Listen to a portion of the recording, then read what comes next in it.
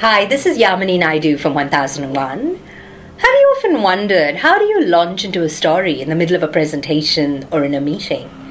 A lot of our customers grapple with finding the right segues for their stories.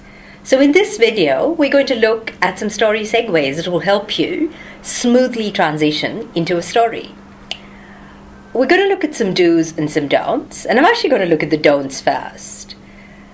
Never start your story by saying, I'm going to tell you a story, because that can sound patronizing, and it's quite unnecessary to announce the piece of communication that follows. Our other don't comes from Stephen Denning. Denning recommends that you never say, I'm going to tell you a true story, because what have you been doing all this time? And as we've discussed before, in storytelling, authenticity is very important. So all the stories you are narrating should be true. So if I've taken away both your life rafts, if I've said, don't say I'm going to tell you a story and never say I'm going to tell you a true story, don't worry, help is on its way in the form of some do's. One of these do's, and this again comes to us from Denning, is the simple use of time and place. You could segue into your story by saying, Yesterday when I was in the gym, or last week when I was talking to Tom in IT. Time and place do a lot of things for you in storytelling. Denning says they signal to your listeners that this is a true story without you having to say those words. There are innumerable variations of time and place, so it never gets boring. Using time and place also keeps your stories conversational. And by having a conversational segue, you will find that it is really smooth and easy to transition into your story.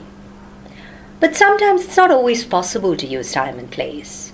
What do we then recommend in those situations?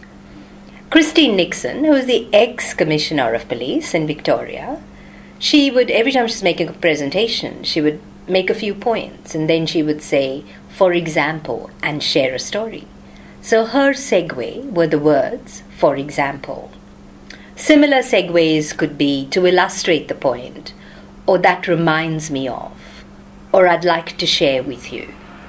These are just some suggestions. I want you to have a play with them, practice, see what feels right for you, and even better, come up with some segues that fit in with your style.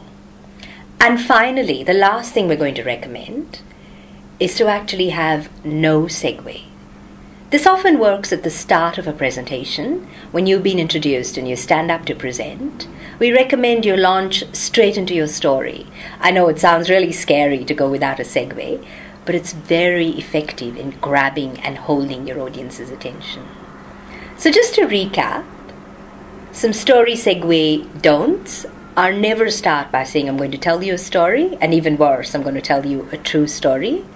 If you're looking for some story segues, some options for you are to use time and place, to use words like for example, and finally to sometimes try going without a segue at all.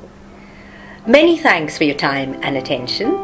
If you found this video useful, we invite you to subscribe to our posts. Thank you.